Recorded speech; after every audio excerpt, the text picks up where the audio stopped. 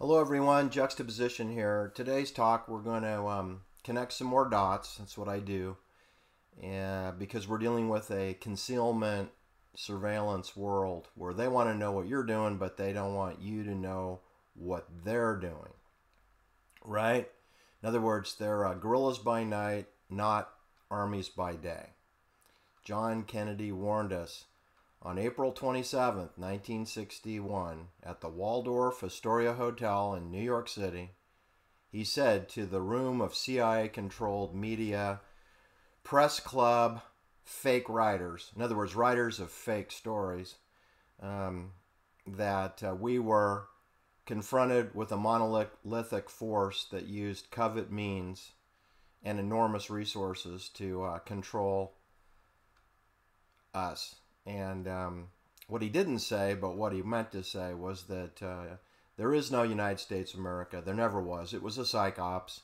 Um, we operate under admiralty or maritime law. In other words, we're all on a big fat ship, and the captain's in charge. And we follow orders or people die.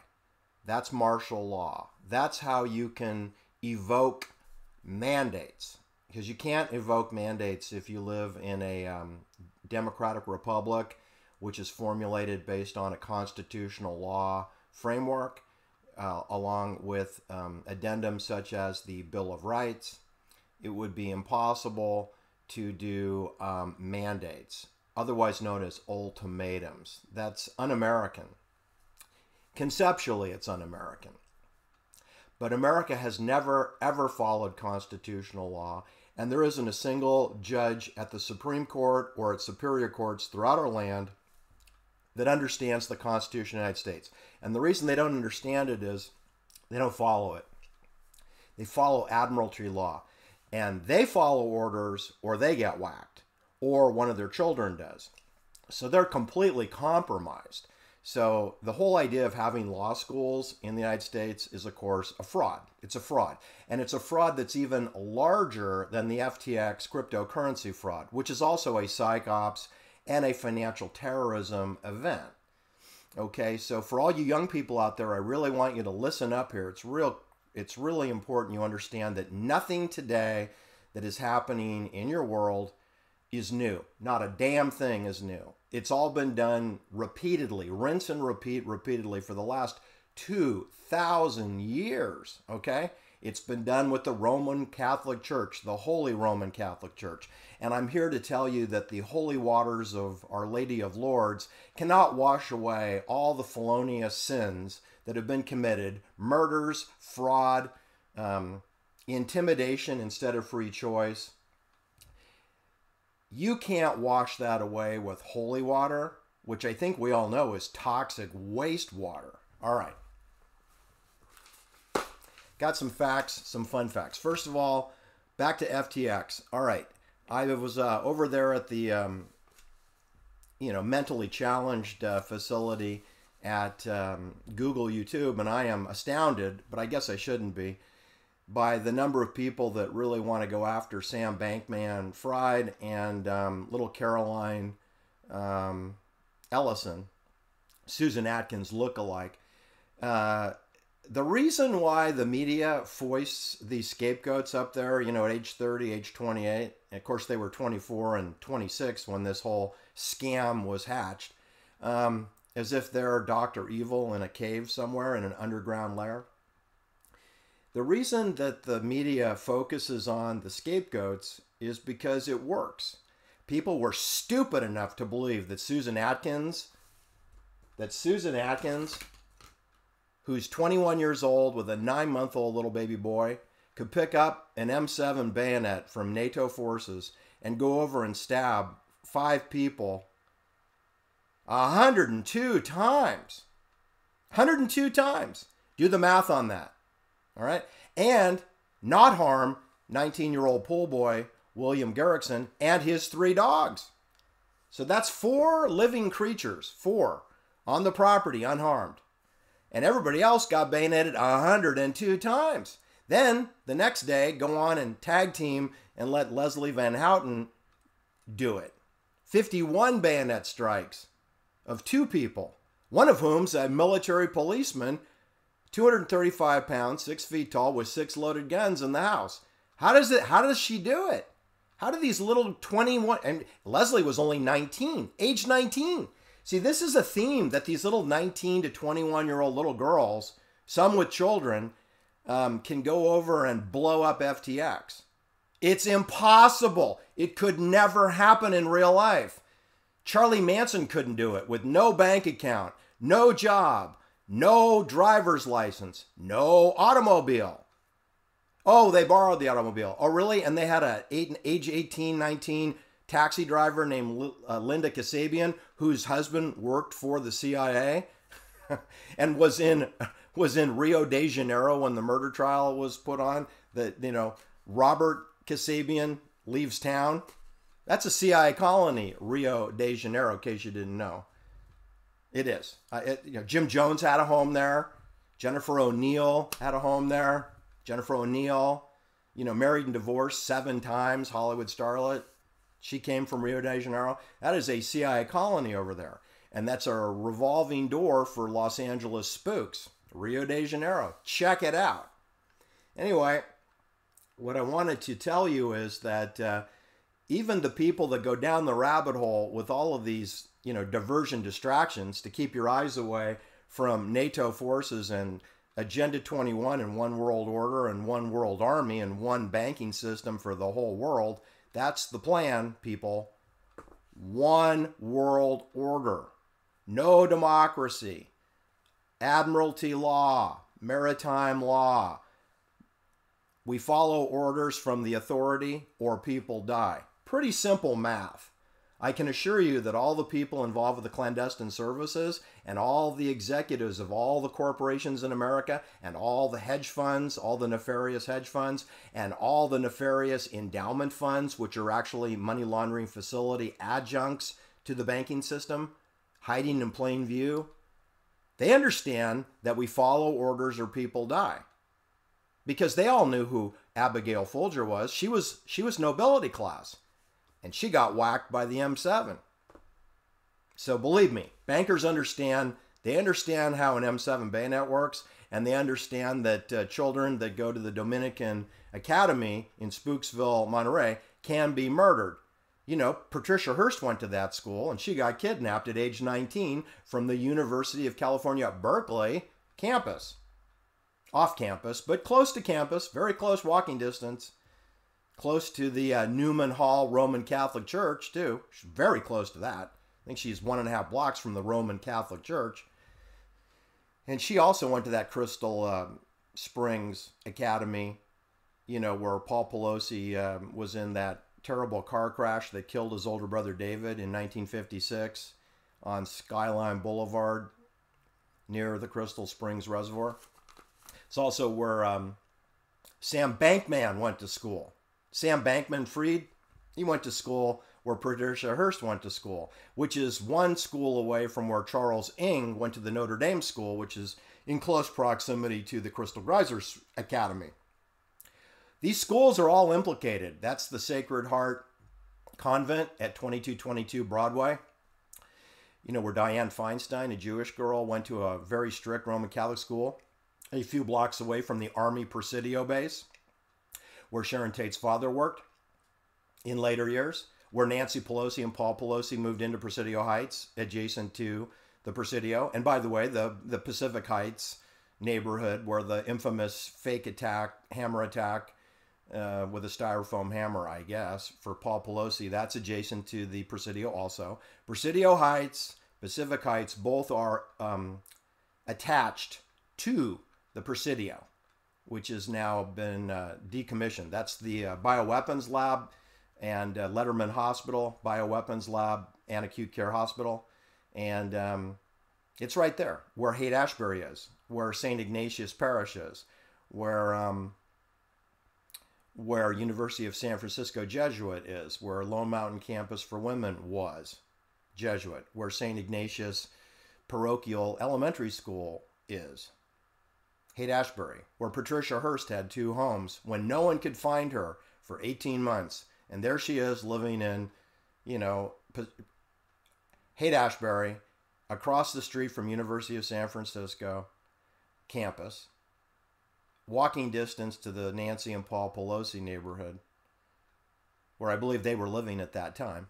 They were also living there when Paul Stein, age 29, yellow cab taxi driver, was shot in the head with a 9mm pistol at the corner of Washington Street and Cherry Street in Presidio Heights, two and a half blocks from officer housing at the Army base Presidio. Military intelligence, where Paul Tate, Sharon Tate's father, resided. Walking distance to the Pelosi home.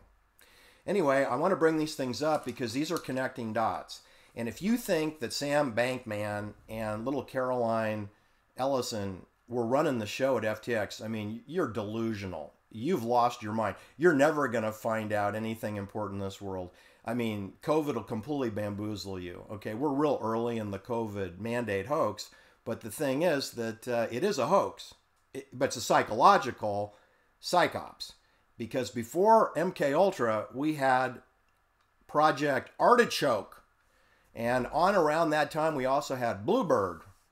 We had the Bluebird program, Bluebird, Artichoke, MK Ultra, um, Manchurian candidate training, mind control, um, the whole concept of trying to make people be controlled by an authority figure. This is uh, central to pacification and control. So um, you know, people think that MK Ultra started in 1953, but they've always had some form of MK Ultra for for thousands of years. So just because they name it doesn't mean it didn't exist before. Of course, it's always existed. Whenever a minority of people attempt to control through a maritime law, martial law, bossing people around like a sheep herder does, you're going to need command and control devices. That's what MK Ultra is. That's what that's what Operation Midnight Climax is. And then for all of you um, for all of you aluminum oxide um, chemtrail deniers out there, you know, you should you should have some more vodka because that's permanently what you live on. You know, I guess you don't get out much. Look up at the sky. You know, chemtrails are not a new concept. It's been around for decades. Okay, decades and decades, and but they're amping it up now because what I saw on Saturday, just 72 hours ago, I'd never seen anything like that in my entire life. Initially, it started out I see one chemtrail. Then, you know, a few weeks later, I'd see two chemtrails in going east west, north south. So they crisscross, right? That's not uh, vapor condensation, all right? You know, you don't have a plane, planes going up there running in strategically opposite directions over the same zip code, you know, which is a complete opposite flight pattern. You don't have planes flying in opposite flight patterns, leaving chemtrails, unless it's deliberate on purpose, right? But what I witnessed on Saturday was a minimum of 16 chemtrails in a tic tac toe fashion, 16 cross sections, eight going northwest, eight going north south, uh, north south, east west, exactly in diametric directions. And um, I'm going to assume it was well over two to three dozen chemtrails because they dissipate slowly. They they fan out in about 20 minutes, and um, and I, I counted 16. So the, the sky was already very choked with dust particles. And so I'm going to say that there must have been another dozen that I didn't count because they fanned out. So that adds up to 28 chemtrails. And that took a couple of hours to dump out of multiple airplanes. There's no way. Uh, I think a chemtrail is done by one airplane. And so if you have 16 chemtrails, you have, you have to have 16 military planes. And I'm going to call those Lockheed. Um, I forgot what they call those things. KC 135s.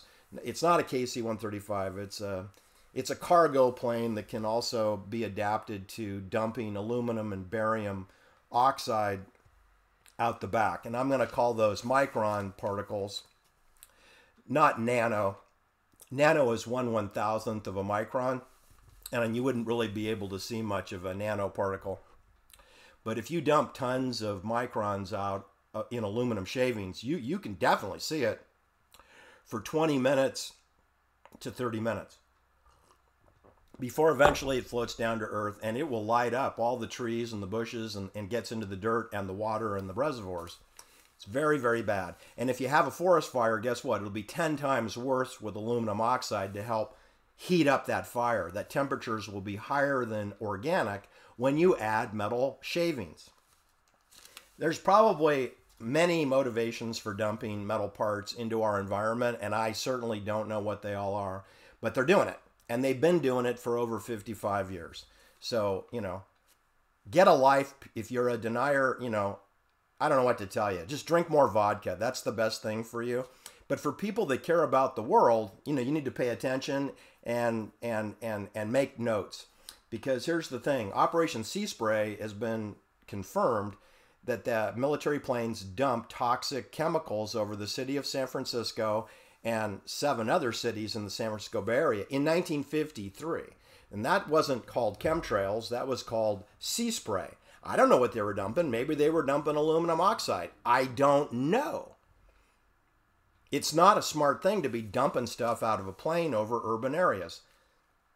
And since I, I posted that video, I've got people from Queens, New York, from Yonkers, New York, telling me that there were chemtrail dumpings going on over Queens on Sunday. Okay, and I got confirmation from Billings, Montana that they were doing it up there and that they're doing it at Mount Rainier, Seattle, Washington, and that they were doing it over uh, Mulholland Highway, which is by Point Mugu and the Malibu gated colony where all the you know, luminary Tom Hanks and John Frankenheimer, the same home there, that there was aluminum oxide being dumped over the Malibu area of Los Angeles County. And then I got confirmation in Santa Clara County over Silicon Valley this weekend that there was aluminum oxide being dumped over Silicon Valley, over um, Contra Costa County near Mount Diablo. Um, and I got confirmation on Napa County, Sonoma County, Marin County and I got confirmation in, from um, Colorado Springs, Colorado, also. So the thing is, if you think that people are hallucinating all this, the only person that's delusional is the chemtrail denier.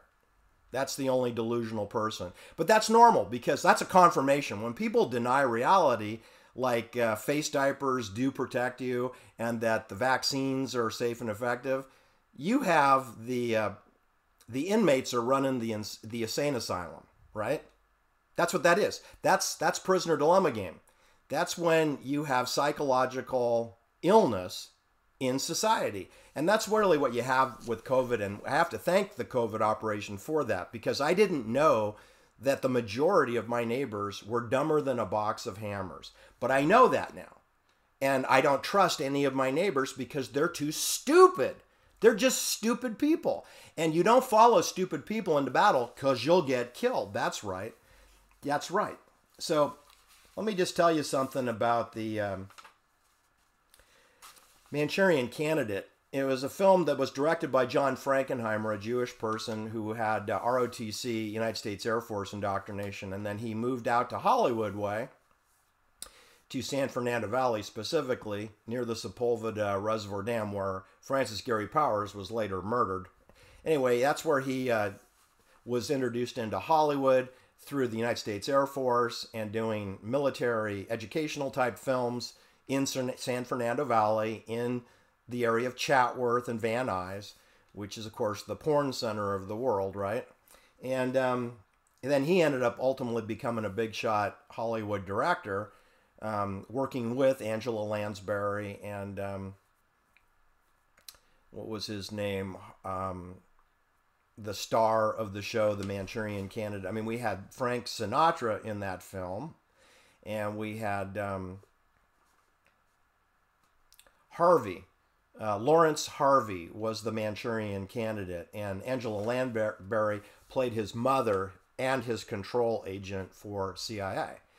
And um, Angela Lansbury was only, I think, seven years older than um, Laurence Harvey, a British actor, and she's a British actor also. Anyway, um, Laurence Harvey didn't. He died at age 45, so that's kind of disturbing, right? Uh, Angela Lansbury just recently died at 96, so she went a long life.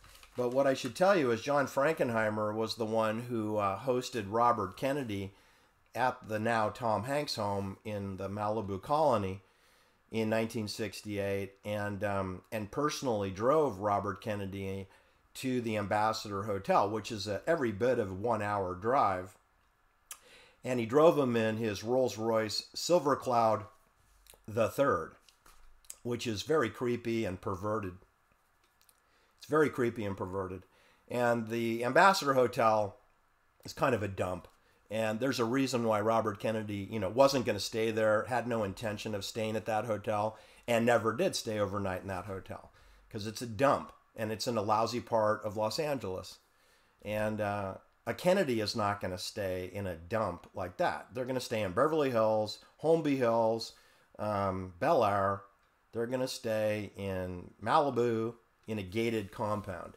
The problem, though, is people that if you do stay in the places I just mentioned, is those are CIA surveilled compounds. Benedict Canyon, where Sharon Tate and Abigail Folger was murdered, they were murdered in a military industrial property.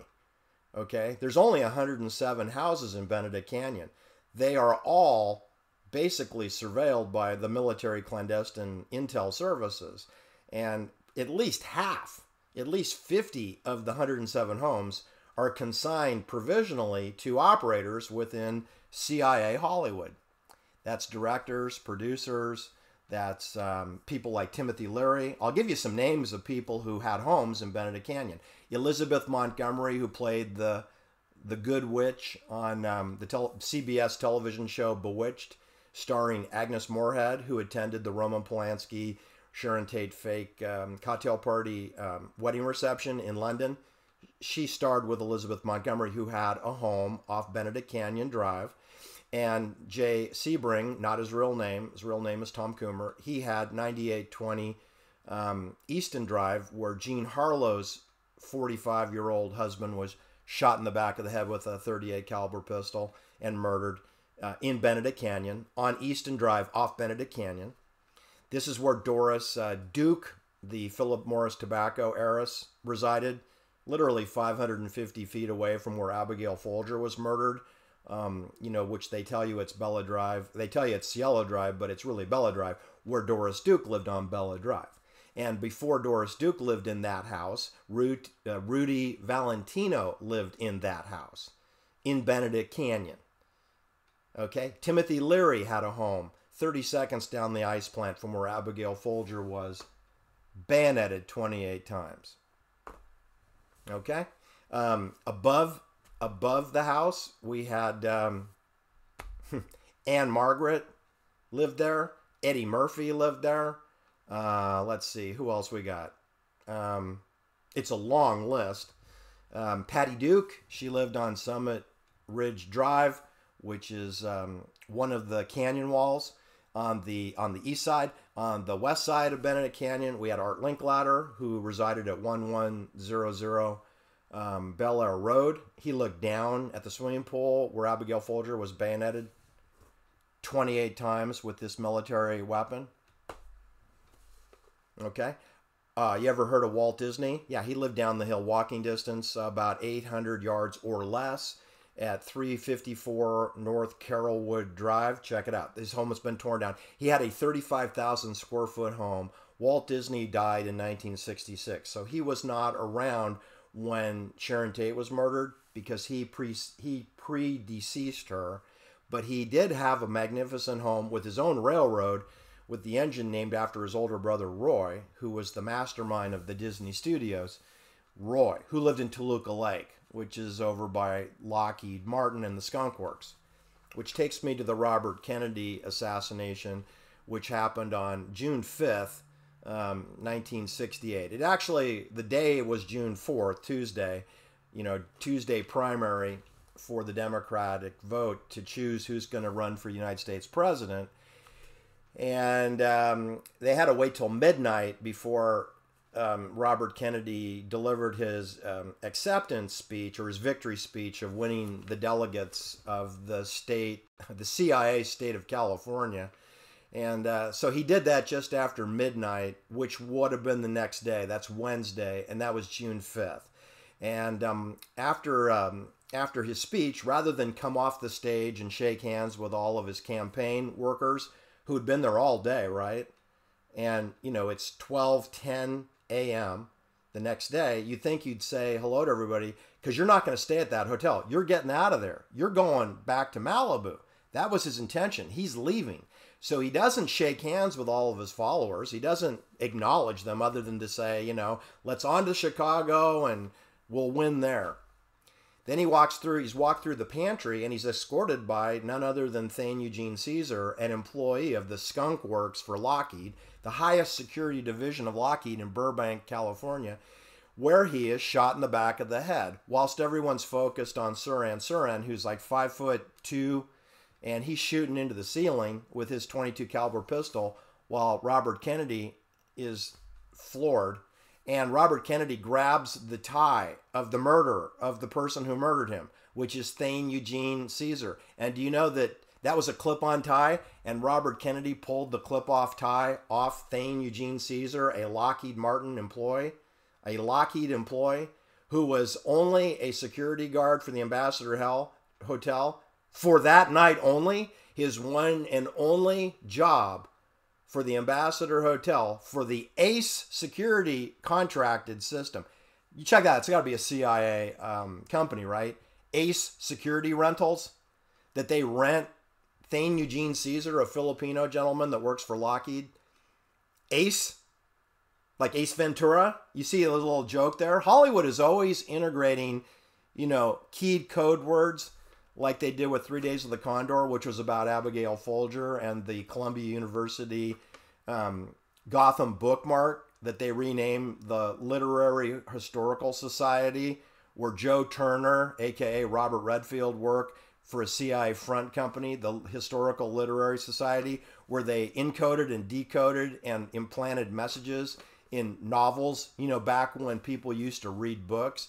See, for you young people, I understand you don't read books, but in the old days, people actually read books. Now, most of the books were, you know, stupid, phony books. They were fake books, fake history books. But still, people sat down and they concentrated, uninterrupted, no ADD, and they would read books. Now you have to put the book down and pick it up. So I understand it's awkward. But hopefully, you can plug into my channel and we'll just keep this thing moving. So, what I'm trying to tell you is that Lockheed is implicated in the murder of Robert Kennedy. So is Eugene. Um, Cesar, Thane Eugene Cesar. And he's also um, worked closely with Robert uh, Maheu, who also was an executive for, for um, Howard Hughes and Hughes Aircraft. So Hughes Aircraft is implicated in the Robert murder, as well as Lockheed.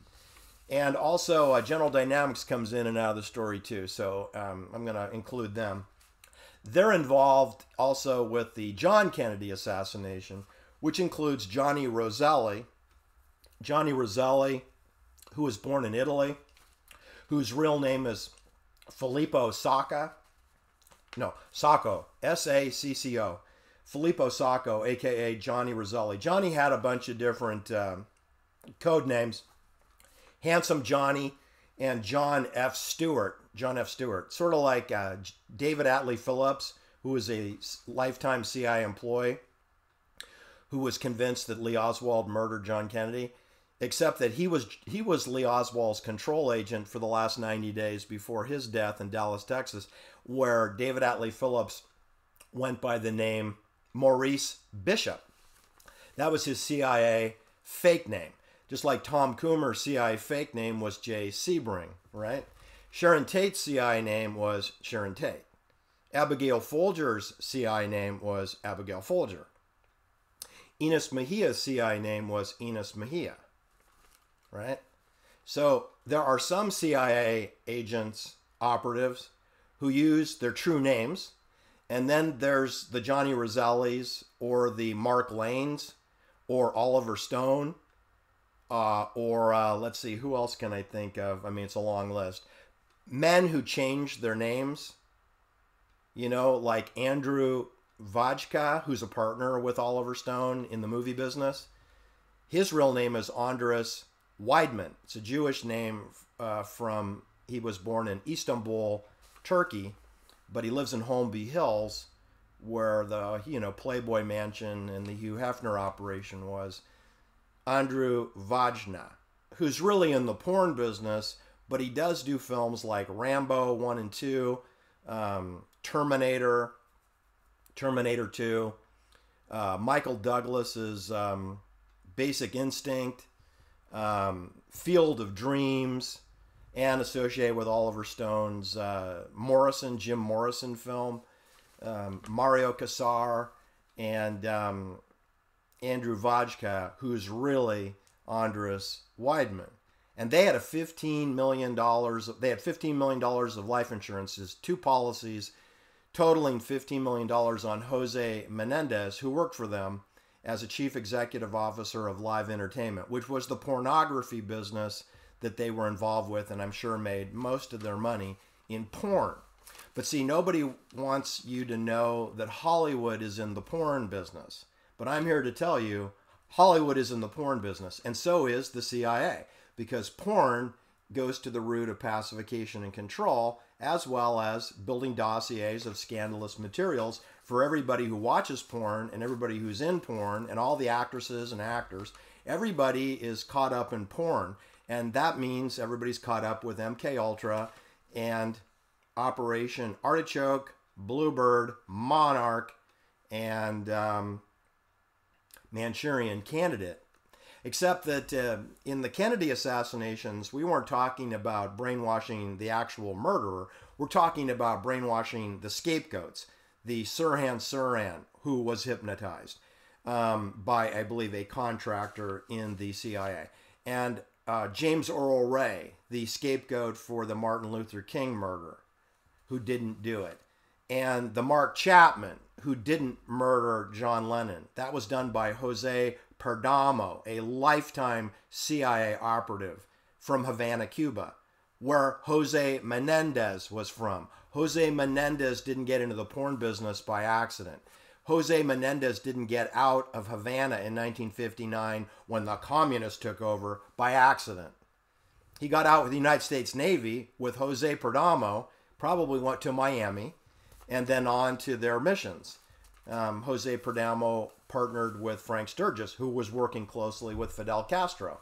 And Jose Perdomo was working closely with General Batista and was a chief of police, was a chief of police in the municipal police in Cuba at age 24. So he was fast tracked. And he's the one at age 45 that killed John Lennon, who's 40, 40 years old. John Lennon is five years younger than Jose Perdomo, who was working as night doorman that December 8th, 1980 night when John Kennedy was murdered. Murdered by a professional with guerrilla warfare training, Jose Perdomo. And by the way, just so you know, Jose Perdomo is definitely CIA because he has more aliases than David Atlee Phillips does. He has more aliases than Johnny Roselli does. He has more aliases than Sam Giancana does. Let me give you some examples of Jose Perdomo not his real name. His real name is Jose Sanyinas Perdomo. But he goes by Joaquin Sadin Sangenes. He goes by Sam Genes or Jene. He um, goes by San Genes Perdomo. He goes by Jorge Joaquin. And he goes by Luis Sangenes. That's six. That's six names. That's more than Tom Kummer had. Tom Kummer had Jay Sebring. Right?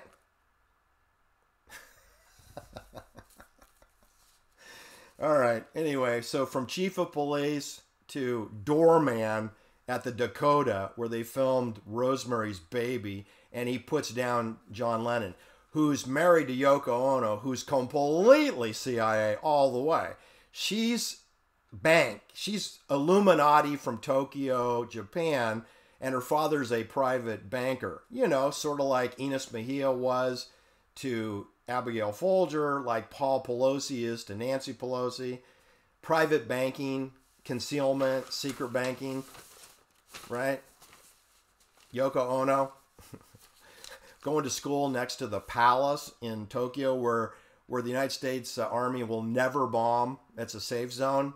That's where Yoko Ono is during World War II in a safe zone, where she will never be harmed. And then she's sent off to London, England to see Paul McCartney, who then sends her to go see John Lennon, who she never leaves his sight again until December 8th, 1990, 1980, when Jose Perdomo put him down for some disobedience oath problem, I guess. All right, so anyway, that's enough for today. I just wanted you to know that when you look into the Bay of Pigs, if you look into the Cuban Missile Crisis, you look into the uh, communist takeover of Fidel Castro, and he lived to age 90. Um, it's a CIA operation. Okay, it was all psyops. The since the remembering the Maine in 1897, the United States Navy and military Marines have had an army base, navy base, 45 miles square, 45 by 45 miles at the east end of Cuba. And not a damn thing happens on the island of Cuba, Cuba without the intelligence communities and bank complete authorization and support. So there never was a Bay of Pigs invasion. There never was a Cuban Missile Crisis, not in real life. On television, with Walter Cronkite and the fake news networks, David Brinkley, Chet Huntley, NBC, CBS. There never was a COVID uh, crisis. Never. Except on television, right? Or you could watch your steroid football game and you see everyone's wearing masks except the athletes. They're not wearing face divers. Are you crazy? You can't breathe. That's unhealthy. Not to mention, they're already on a boatload of amphetamines and steroids. They don't need any more, you know, pollutants put in their bodies, all right? They take performance enhancing drugs. They don't take performance de enhancing drugs. Athletes may not have graduated from college, but they're not stupid. All right. We'll get into Sam Giancana and Johnny Roselli, who were, you know, retired early, kind of like uh, William Egan Colby was, right? Although, you know, Egan Colby William Colby was 76 years old when they whacked him. So, you know, he was in retirement, sort of, kind of. These people never completely retire. So, Lockheed, Hughes Aircraft, General Dynamics, Thane Eugene Cesar, the Skunk Works. I'm up here in my jet looking for chemtrail um, military planes. When I see one, I have Raytheon missile guidance uh, laser software here, and I can tag the planes. They don't have any markings, but I can put on a QR code on them, and then I can track them down to where they land, either at an Air Force base or a private CI base. And then I've got GPS tracking on all the chemtrail um, planes, and then I am authorized to turn that over to the Committee for Public Safety, who will take it from there. Thanks for watching. Thanks for listening. Have a great day.